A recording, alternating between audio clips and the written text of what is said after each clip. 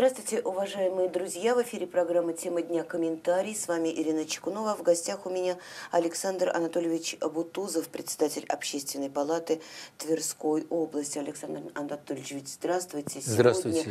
Сегодня, сегодня цель нашей встречи, наверное, успокоить жителей региона, потому что в бедные головы наших тверских мужчин, женщин, детей – Э, вбрасываются миллионы фейков, лживой информации, цель которых одна – это посеять панику, э, посеять, возможно, злость, ненависть, разъединить общество.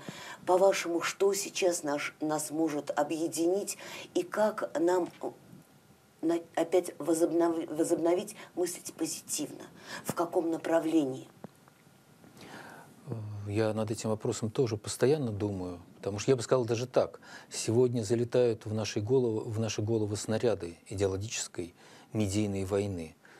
Вот. И выдержать такую массовую атаку очень тяжело. Нам с вами, наверное, легче, потому что мы уже не первый год занимаемся вот этой фейковой, э, анализом фейковой активности. В том числе Великой Отечественной В том числе войны. Великой Отечественной войны. Мы уже изучили подходы, как это делается.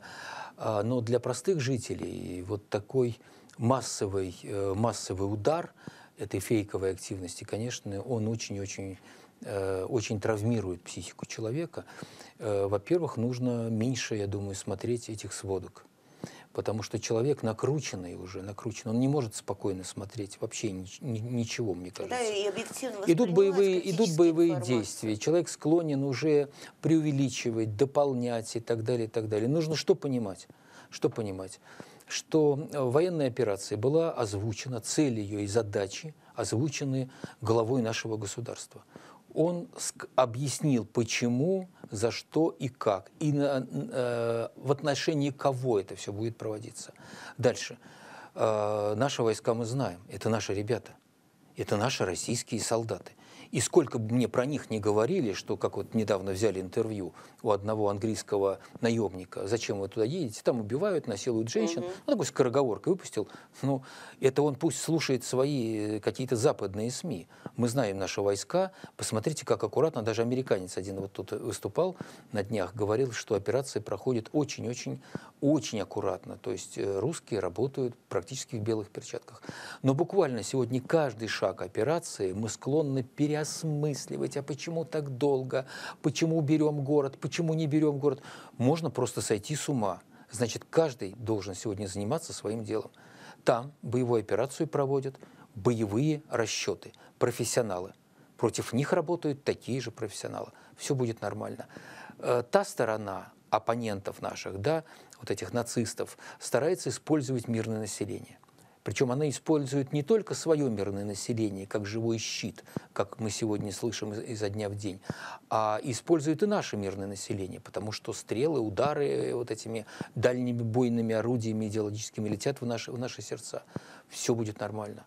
Все будет нормально. Мы будем помогать этим народам э, отстоять свое, свою независимость, и, конечно, этой фашистской хунте больше не будет места на территории Украины. Я думаю, это вот как раз то, о чем говорил президент, что мы пойдем до конца. А вот, вот эти вы всякие... говорили, я вас перебью, а. вы говорили, что а, а, вы путешествовали, вы были в очень многих странах мира, и вот именно отношение, отношение вот не к этой военной операции, отношение к русским, отношение к людям, которые живут здесь в России. Вот вы что можете сказать, что там тоже обычные люди? Меня, понимаете, меня, это, меня это потрясает. Меня по, это просто потрясает. По тем же канонам. Я многие да, годы живут? ездил в, в Германию, причем не в Восточную, а именно в Западную Германию. И меня потрясает спокойное отношение к нам, э, немцев. Причем мы же понимаем, мы же помним все те годы, когда миллионы, десятки миллионов с той и с другой стороны полегли, когда мы защищали свою родину, и немцы тоже могли, наверное, бы оставить в памяти какие-то негативные события, когда погибали их деды и так далее. Но ничего подобного сейчас нет. А почему? А потому что я так думаю, что политика правительства такова, что она поставила непреодолимый непреодолимую преграду для поддержания нацистских, профашистских и, и далее течений. Я был в Турции, страна НАТО, отношения еще более теплые. Я был во Франции, во многих странах, вот понимаете, которые относятся к этому э, э, Североатлантическому альянсу. Но с Украиной, ну это какой-то просто... Вот смотрите, где прорвало. Это, это наш самый родной, близкий брат, самый родной для нас народ. У нас языковая группа одна и та же. Мы сегодня без украинского старого языка, без польского языка, с трудом понимаем наши древние писания. Мы сегодня, как бы мы сегодня должны объединяться и на поприще фундаментальной, прикладных наук. Но сегодня вот такая ненависть. Более того, ненависть не только украинцев к русским, а у русских к русским, если только они пожили на этой территории территории. И я, как общественный деятель, я, я себе, э, я понимаю, почему это так. Потому что там была политика. Многие годы политика страны, правительства. Меняются правители, как говорит наш президент, не меняется одно. Не меняется вот это жало, яд, которое прокачивается против нашей страны, и причем прокачивается не против лидера нашей страны, не против вооруженных сил, прокачивается против населения, против, против русскости, против русского языка. Но это же нацизм. Нацизм в 21 веке. Потрясает другое. Дорогие мои и любимые работники культуры э, и прочее, прочее, россияне, которые выходят сегодня с этими лозунгами «нет войне», хватит смотреть на все это одним глазом. Ведь эти люди практически обнуляют все, что было на Украине десяток лет до этого. Причем не 8 лет, когда э, бомбили э, нацмены, нацисты эти бомбили, бомбили города э, значит, в Донецкой и Луганской. Нет, и до этого было. Вот этот вот нацизм, он же практически культивировался. Мы это все знаем.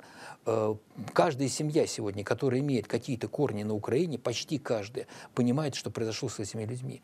Я знаю такие семьи, где родные родные люди, ближайшие родственники, два брата, не, не общаются. Хотя э, ну, брат, живущий на нашей территории, просит, давай не будем говорить о политике, давай просто вспомним, что мы братья. Нет, общения никакого. Причем речь идет не о 22 годе, речь идет о 15 14 13 годах. То есть это все уже, это все давно затянувшаяся болезнь, давно затянувшаяся чем она может закончиться? Только тем, что нам уже прописал товарищ Зеленский. Он сказал, что будет дальше, будем, э, будем прокачивать эту злобу дальше, и более того, будем пользоваться еще возможностью создания ядерного оружия. Ну, извините. И дальше уже некуда. Извините, я думаю, что этот бред, этот бред закончился уже. Я думаю, из уст Зеленского он закончился навсегда. Теперь должна работать другая сила. Это сила гражданская, общественная сила взаимодействия и сотрудничества. Я уверяю вас, мы найдем очень много соприкосновений. Мы один народ. У нас единая повестка дня должна быть. У нас повестка дня должна быть э, здоровье наших пожилых и молодых и прочих граждан. У нас повестка дня должна быть качественное образование, доступное образование. Еще раз хочу сказать, наука. У нас в науке очень много должно быть общего. общего. Но сегодня нас раскололи так, что нам придется еще долго проходить этот путь, э, и, ну вот как бы, чтобы эта рана наша, чтобы эта рана заросла. Я, я, да. я хотела вам, вас еще спросить, время эфира подходит к концу, относительно того, э, как, э, как уберечь детей и подростков вот от этой лжи и от того, чтобы вот это семя зла э, не проникало в души. Я знаю, что вы работаете с молодежью, и у вас есть реальные дела. Потому что если они не пойдут в добро, то их совсем может рядышком быть, зло. Может быть, да. Во-первых, нужно быть э, вместе с молодежью. Вместе с молодежью нужно проводить э, различные мероприятия, но быть не над ними, не куратором, не управленцем. Мы просто должны быть вместе в одной команде. Вот. Потом э, перед молодежью не надо лукавить. Не говорить, что ничего страшного, ничего не происходит. Это трагедия. Мы должны показать молодым нашим людям, что мы тоже переживаем. Для нас это большая трагедия, когда, когда от э, какого-то снаряда может пострадать мирный житель не нужно глубиться, не нужно подливать масло в огонь, это все плохо. Мы сегодня должны быть образцом для нашей молодежи. Пусть мы, вот э, поколение мое, мы не воюем, мы не, нас не используют на, в боевых действиях, но мы воюем здесь. Наши, наш фронт – это сердца нашей, нашей, нашей молодежи. Мы воюем, мы с ними прошли уже одну войну, мы отстаиваем святую правду о нашей Великой Отечественной войне во многих мероприятиях. Вот я вам как-то говорил, даже книги мы стали из года в год, не хоть небольшие, но все-таки книжки памяти печатать. Это очень здорово. Молодежь сегодня должна быть живым участником нашей патриотической, вот такой активной, живой общественной, общественной деятельности. Все это пройдет, все это пройдет. А дел много.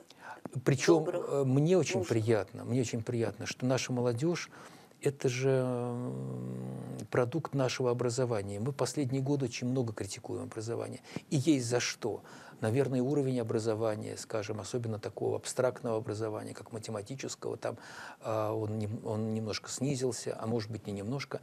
Но что важно, наше образование не развращает наших детей, не пичкает их какими-то сомнительными идеями. И сегодня, когда я общаюсь со студентами, мне очень приятно слышать ответы по поводу того, а вот в ваших школах, а школы все разные, понимаете, сколько сейчас разных мнений учителей. У вас были хоть, хоть намеки на то, что есть национальности э, неприличные, плохие, ничего подобного.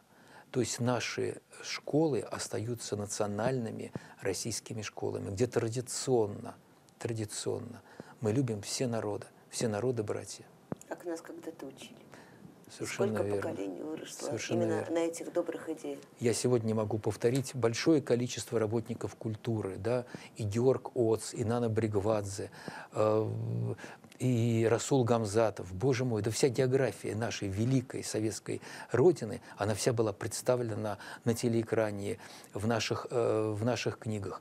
Обратите внимание еще, какой интересный момент, как работала а, вот, э, как работало телевидение, как работало медийные, э, медийные пространства. Ребенка в любом возрасте, ну, конечно, не в самом маленьком, можно оставить было дома. Он включал телевизор, он включал радио, и ты был спокоен, что он не наслушается, не насмотрится, бог знает чего. По радио постоянно звучали симфонии и балеты, или первый концерт Петра Ильича Чайковского. Боже мой, Рахманин. Какие радиоспектакли Какие были? радиоспектакли mm-hmm. были, боже мой. Я думаю, что сегодня, может быть, и нам нужно посмотреть на нашу жизнь. Нам нужно и дальше идти, нам нужно собирать тот мир, который мы немножко растеряли. Спасибо огромное за участие в программе. Напоминаю, что сегодня у меня в гостях был председатель общественной палаты Тверской области Александр Бутузов. Спасибо огромное. Спасибо. Уважаемые друзья, будьте здоровы, бдительны и критически относитесь ко всему, что вы услышите. Не верьте лживой информации. У нее цель одна – разобщите нас и влите нас в ненависть друг к другу. До свидания.